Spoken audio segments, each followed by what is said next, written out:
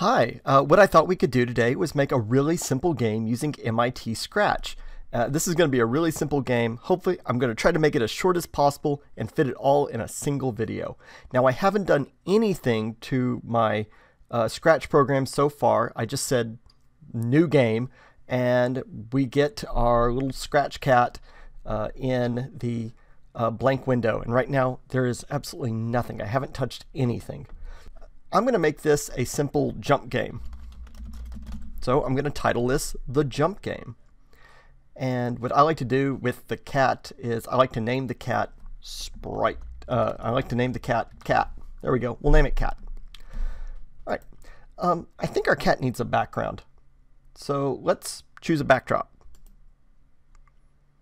And I was just thinking of a jump game in which a cat is running through a colorful city while buildings, very tiny buildings, run towards him. All right, so what I would like to do is to position the cat right about there. And you can see uh, the position record coordinates. There we go. I like that. And what I would like to have is a building which we could use to, to run towards the cat. So let's look for a new sprite. And here we go. Eh, it's called Buildings. All right, there we go. Ooh, what I would like is for the cat to jump over that building, but that building is way too large. So I'm going to change the size of the building. Make sure you have the building selected down there and select 25. So right now it's going to be Where'd it go? Oh, yep, there it is. There you go. It just hid perfectly in that existing building. So that's going to be our, our new building. And I'm going to tuck it all the way over there. So let's get to programming. Now that we have our cat and we have our building, what I would like for the building to do is to run down the street towards the cat. It's a video game. It doesn't have to make sense. The first Mario game is about plumbers and turtles and mushrooms. Don't try to think too hard about it. Just imagine the building is running towards the cat. So let's, uh, first we're going to create an event. And the event is going to be when the green check green flag is clicked. In other words, that's the start of the game, the go the go flag. And we're going to create a control structure that is a forever loop. So this is going to happen forever. And so what I would like for the building to do is to go to this position where it is right now. So what I say is we're going to uh, move to the position. So what I like to do is I like to move the building to its desired position. I like to imagine it right along that dotted line in the middle of the street. And I'm going to set this as negative 80 because I like nice whole numbers. And then I just want it to wait there for a few seconds. And if I go to control and wait, I can have it wait one second. But here, I'm going to make it interesting. I'm going to say pick a random number instead of one. We're going to add a little bit of randomness here. So we're going to go from two to five seconds.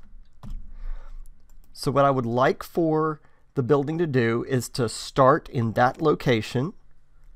I would like for the building to wait there for two to five seconds, and then I want the building to glide. So what I'm going to do is I'm going to move the building to the point where I want to glide to, and it's going to glide to that location. There we go. And that looks good. And then I want it to wait there again. And here, we can just make that two seconds. So let's start the program. And it's the building is going to sit there and wait, and it's going to glide towards the cat, and it's going to sit there and wait for two seconds, and then it's going to return back to the beginning, and then it's going to move across the screen again. That's that. We're good. That's actually all I want the building to do. Now let's go and return to the cat. Now, cats jump. And how do cats jump? Well, they jump whenever you press the spacebar key. So if I go to the events area, I can go when, when the uh, spacebar is pressed, we're going to create our own jump motion, and this is going to be glide. So right now the cat is at uh, negative 126, 80, negative 80. I'm going to change that to a zero as well. Negative 80. There we go. All right, yeah, just because I like that negative 80 there. And then I want the cat to jump way up in the air. All right, that's a good position. We're going to glide there. And then I want the cat to glide back. Preferably to its 80 position again. All right. Right now I've got it gliding, let's set it to one, negative 130, just so I can, there we go.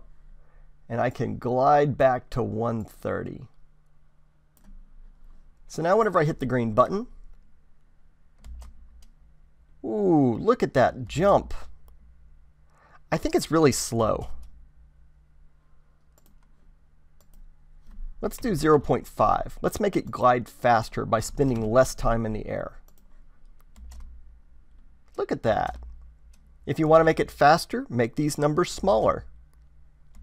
So right now we have our cat jumping, and we have our building moving. Let's see. Oh, you know, let's see if I can try that again. There we go. I think I got it. I think I got it. This is going to be good. All right. Uh, now, um, I like the uh, position that the, uh, the cat is in. So whenever we say uh, the green button is clicked, we are going to go to the current position, just negative 130, 80. I like to have that there so that if you accidentally move the cat later on in the game, that whenever you hit the green button, the cat will automatically return to that location. All right. Next up, we need one more event, and that is going to be from the start of the game, we are going to have a forever loop. A forever loop is going to loop forever. If, this is an if statement, if the cat is touching the building, and so we use sensing, and we use touching. So I'm going to put that touching diamond into the if statement diamond. right now, if it's touching the mouse pointer, I don't want that. I want the building. What I would like for the cat to do is to turn backwards on its back. And that's going to be a counterclockwise turn. And a counterclockwise turn of 90 degrees. And then I just kind of want to sit there on its back for a second. And then I wanted to get back up by turning clockwise 90 degrees. All right. So we're going to stop our program and we're going to let the, uh, the building move. Oh, it got hit by the building, so it turned backwards, but then it got back up. Likewise, oh, it got hit again. All right, now I'm going to hit the spacebar this time. Hopefully we can avoid the building. Yay, we avoided the building. There we go. We just created a real simple game from scratch in which the cat has to dodge the building. And if the cat doesn't dodge the building, well, then it falls on its back. But it always gets back up. So it's a really simple game. Um, I think we're done here, and I hope you enjoyed this quick video, and hope to see you again soon.